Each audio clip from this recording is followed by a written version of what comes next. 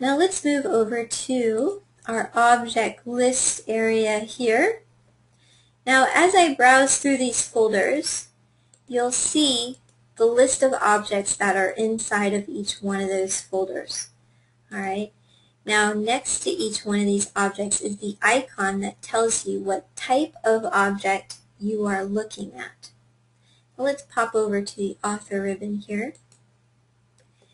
Now you will, you will get familiar with these icons over time, but they may be a little tricky when you're first starting out with Author. So we do give you uh, a way to identify what type of object that is. If you look at the Author ribbon and you want to create a new book, notice how it has the book icon and then the word book underneath it, this piece of paper icon and then the word topic underneath it. So if you don't have these icons memorized, straight out of the gate, then you can pop over to the author ribbon or the design ribbon and it will give you that icon and then also the name of that object as well.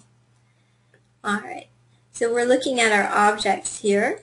These objects have been organized into this folder.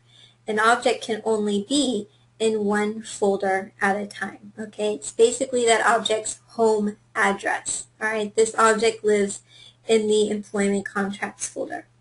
If I were to click and drag it to another folder, I would be changing that object's home address.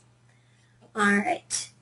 Now, we also have a preview option for our objects. We'll go ahead and select Object Preview here. All right. And as we browse through our objects, you see a preview of those objects down at the bottom of the screen. I can actually drag this line up if I wanted to. So I can see more of that object, but I can browse through and I don't have to open that object up now to take a look at its contents. Now if you knew that the content was different between the print help and web tab, you could toggle between these different views to see what the content looked like for those different views. Alright, and again that is object preview and then we're toggling between print help and web view.